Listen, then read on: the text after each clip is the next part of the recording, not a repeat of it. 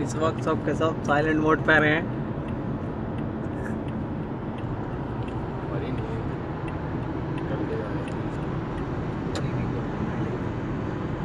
यहाँ पे ज़्यादा नहीं लगाएँगे पंद्रह बीस मिनट निकल जाएँगे यहाँ से बस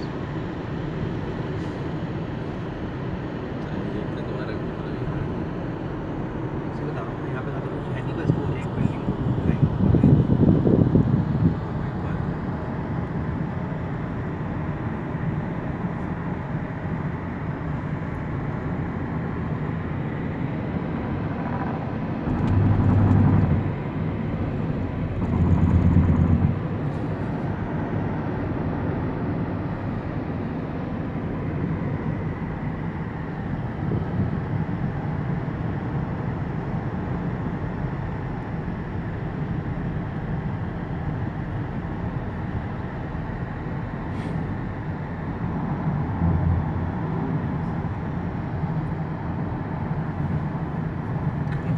मरीना वॉक में वो जहाँ बोट वगैरह खड़े हैं। जी जी जी, जहाँ से वो व्यू आता है ना, पीछे सब बिल्डिंग्स आती हैं और वो